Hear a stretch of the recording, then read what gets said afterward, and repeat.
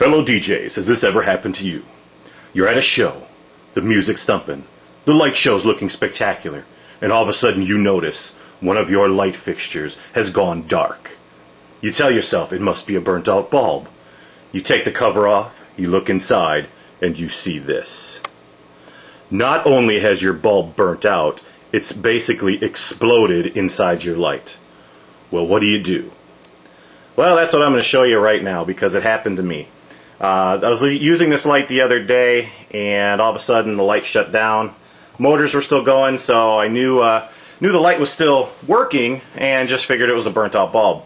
Opened up the cover and pretty much found a mess inside. So, I'm going to walk through, uh, I guess, general lamp replacement, and also what I do dealing with an exploded light bulb inside uh, one of your one of your light fixtures. Now, I've already done uh, a couple things to this. I've taken and unplugged it from the little ceramic plug and I took out uh, the little metal prongs that were actually stuck in here from where the uh, light bulb uh, basically disintegrated, blew up, whatever you want to call it. Uh, now we have to safely get the rest of the glass out of the unit and put a new bulb in. So what I generally do in a situation like this is I will take uh, either a, a like a shop towel or I don't know, an old sock puppet, whatever you got, just something to get in there to help you capture the loose glass and also protect you uh, from cutting yourself. So uh, I'm going to do that right now. I'm going to grab a couple just standard blue, here they are, shop towels.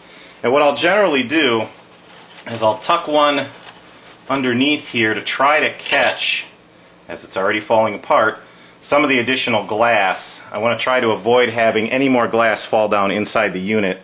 And then I'll take another one, I usually fold it once or twice, just to protect my fingers and get a hold of the light bulb and take it out. And as you can hopefully see here, um, it blew up pretty good inside. So take that piece out. We still have another piece here to get. And there's another piece of that light bulb. And it looks like there's a couple small little pieces down here. I don't think we're going to be able to get them, but what I'm going to do now is I'm going to pull this other paper towel out. And now we go to step two. And in step two, basically, all we're trying to do is we're trying to get the rest of the glass out of the fixture here. Um, we don't want that getting in the way of the motors or, or the circuit boards or anything else. So first I'll tip it on its side, give it a couple light taps. And as you might be able to see there on the table, this is pretty much all the, the glass that was inside. So now that we have that taken care of. One final step that I like to do is take some type of a vacuum and just vacuum out the inside down in these little crevices here, just in case there's any other little glass shavings or whatever. I just like to get that nice and cleaned out. So bear with me here, it's going to get loud.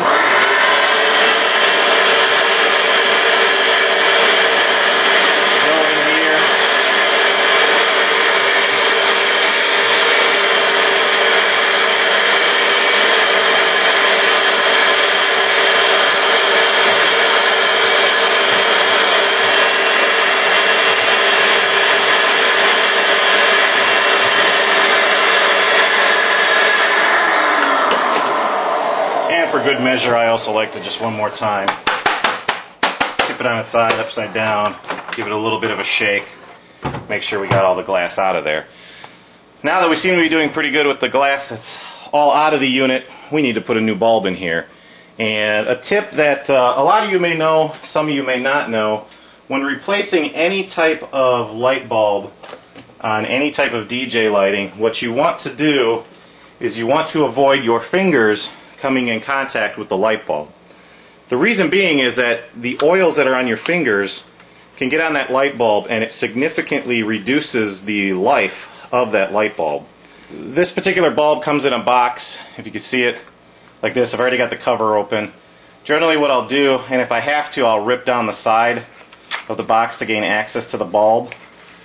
I try to reach in there and grab the bulb with some type of, of shop towel again and then reposition the shop towel so that the prongs are exposed and we can plug this light bulb in and still hold on to the bulb um, with the towel wrapped around it so that we're not getting the oil of our fingers all over it. Take the, for this particular one, take this ceramic socket here, line up the prongs. Sometimes you got to kind of wiggle them in so you get a nice contact there. And then you can hold on to it, you can take the towel off and you can hold on to the light bulb by the ceramic fixture. And then what you have to do in this unit is you have to put it in here and slide it into place and it kind of locks it and holds it. Now what I like to do once I have it in this position, if you can see it, there we go.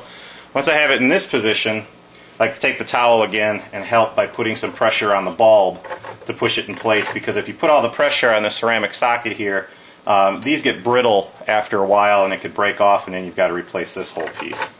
So we've got it there, slid it into place, and this one should be all set. Now I'll also take a moment just to uh, explain to everybody what this light is. This is a Chauvet Q-Mix is what it's called.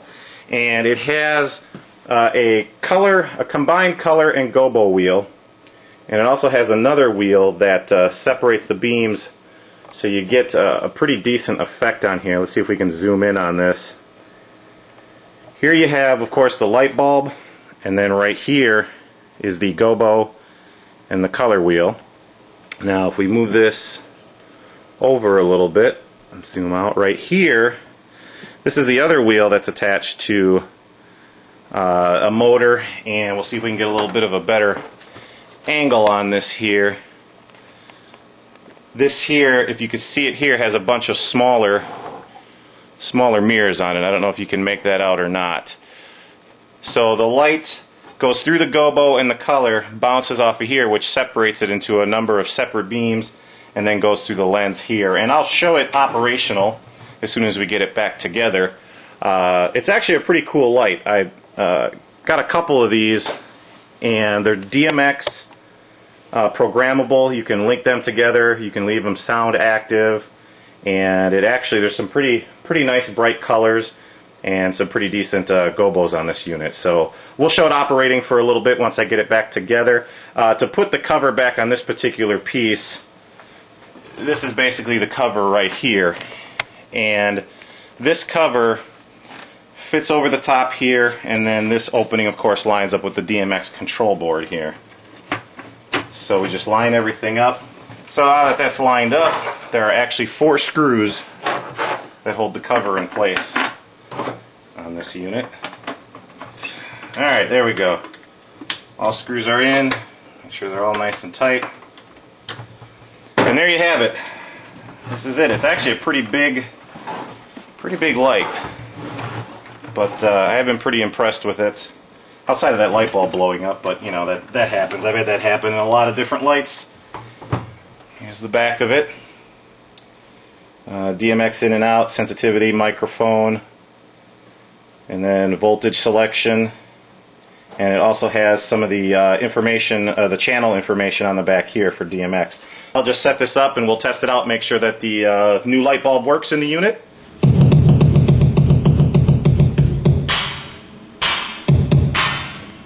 Alright, here we've got the Chauvet Q-Mix on. We've got it set on sound active.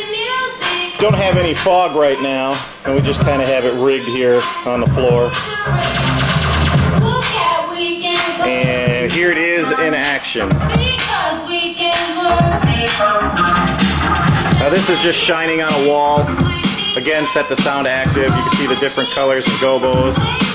And it also spins. In DMX mode, you can adjust um, the changing of the gobos. You can also adjust the speed of the spin. So you can get a slow spin, a fast spin. You keep it steady.